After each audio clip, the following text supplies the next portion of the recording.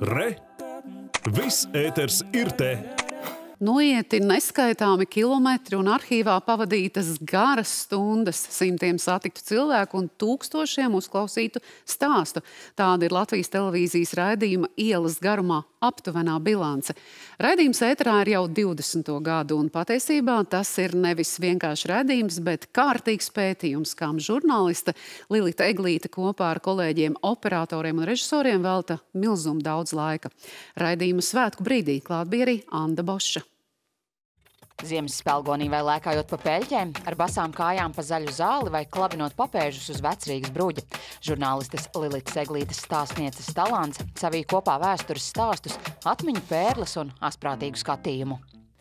Bet kas ziemā notiek Lāču un citu kažoku zvēru ielās tepat Rīgā? Pats pirmais redzījums 2003. gadā izstaigāja artilērijas ielu, kas sākas Rīgas centrā, bet beidzas Grīziņkalnā, kas pašai Lilitai Eglītē ļoti mīļš.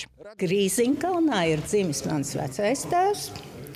Un tā kā no ar šiem stāstiem uh, es faktiski izaugu, Un uh, var teikt, ka lielā mērā interesi par uh, vēsturi manī iesēja, ja, ja tā var teikt, tieši mana vecvecmāmiņa uh, Lūcija Otīlija Mengots.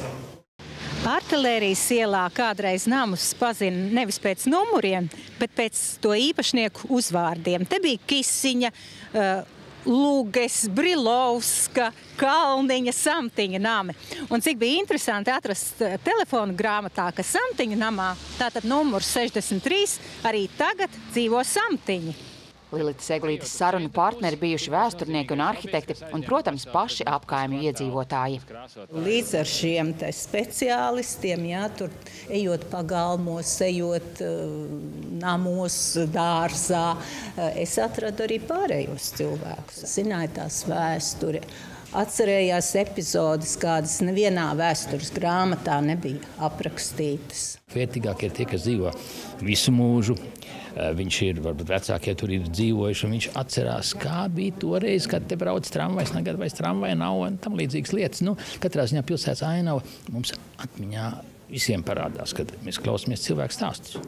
Izteigāts ne tikai galvaspilsētas, bet arī citu Latvijas pilsētu ielas. Pabūts arī Lietuvas pusē un Igaunijā Tartu. Un arī ielu nosaukumi ir interesanti. Vai jūs nevēlētos dzīvot Laimas ielā?